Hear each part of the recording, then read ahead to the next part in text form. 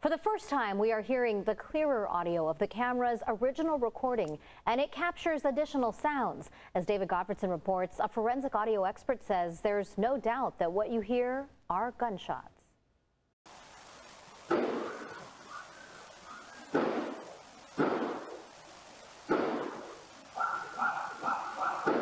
The new recording is a lot cleaner because it's an exact digital copy of the surveillance camera original.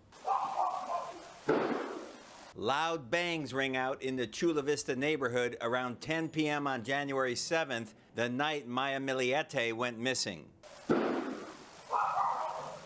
The audio still has some background noise, but that can be removed. It's just going to be a matter of plodding through it. It is. It is not like you'd see on TV where somebody pushes a button and it just happens. It's uh, manual, uh, manually going through it bit by bit. Bryan Neumeister is CEO of USA Forensic in Phoenix, Arizona. They are gunshots. I don't have a question about that. Uh, they do sound like they're indoors.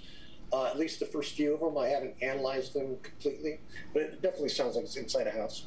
The audio expert received the recording over the weekend from an attorney working with the family of Maya Millete. Just having done some of the gunshots, the way it peaks so quickly, and just the sound of, of a gun after doing 40, 41 years of this, um, it's, it's fairly easy to recognize. It's going to take about a week for Neumeister to fully clean up the audio. I'm going to be able to clarify, get rid of all the the background noise, that sort of thing, and clarify what is there. If there's somebody like a human voice, I'll be able to spot that quite easily. Even if it's buried, I'll be able to bring it out.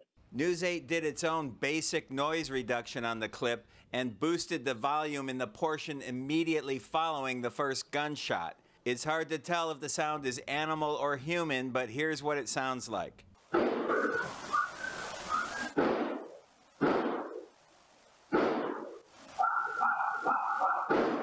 After Neumeister cleans it up, it will sound much better. Something like this, I have to clean it up enough that there's no question about what's there. And uh, that is something I do every day. The neighbor who gave us this audio recording wants to be, remain anonymous.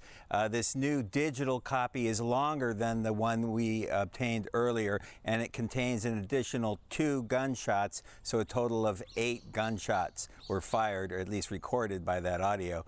We've posted the entire recording unedited at CBS8.com.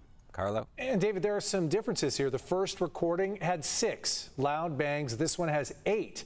If they're gunshots, what does that tell us about the weapon that was used? Well, a typical revolver would have six shots, but on this longer recording, you can hear six shots and then there's about a 30 second gap before you hear the, the last two shots. And so that would be enough time to reload a revolver. Uh, on the other hand, it could have been a se semi automatic weapon with a clip that holds more than six shots. So we'll have to wait and see as this investigation goes. David Gotfredson continuing to follow this story. David, thank you.